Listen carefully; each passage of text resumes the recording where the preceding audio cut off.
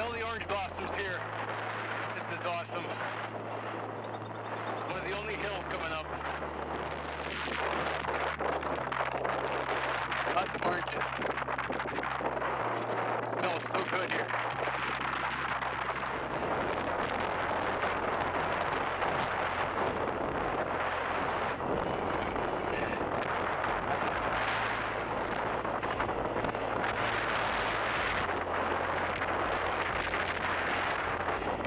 Big boys.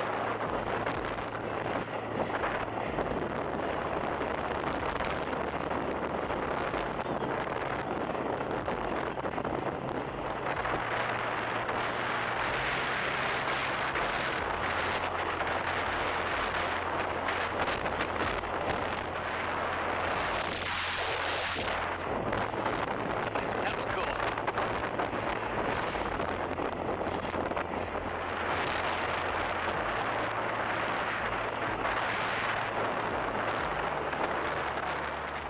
Um, yeah, I was feeling very good, confident.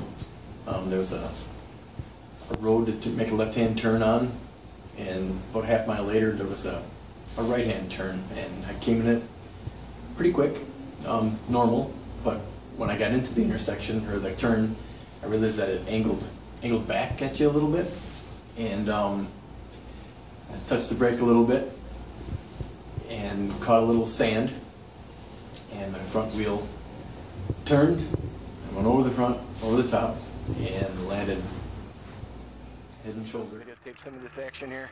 Oh. I got, I got to go, go, go. Let's go.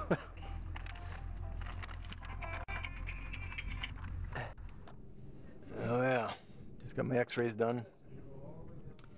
Looks like my clavicle broke on um, both sides of my plate.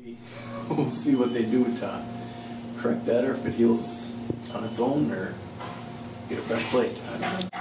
So how's this gonna just affect your RAAM? Um, in a lot of ways, I think it'll help me concentrate harder on getting the legs where they need to be.